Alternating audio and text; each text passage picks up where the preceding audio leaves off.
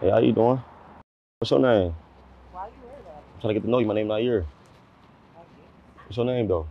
I can't tell you that Why not? because you're being real federal. I've been real federal. What you mean? What that mean? Like you all in my business. I'm trying to get to know you. You know what I'm saying? You look gorgeous. What's your name? Okay.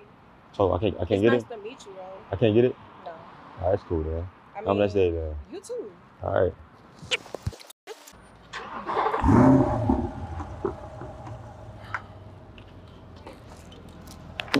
What? Yeah, why? What's up though? I mean, I'm trying to get to know you. Like, what's good? Get to know me. Uh, yeah, what's good?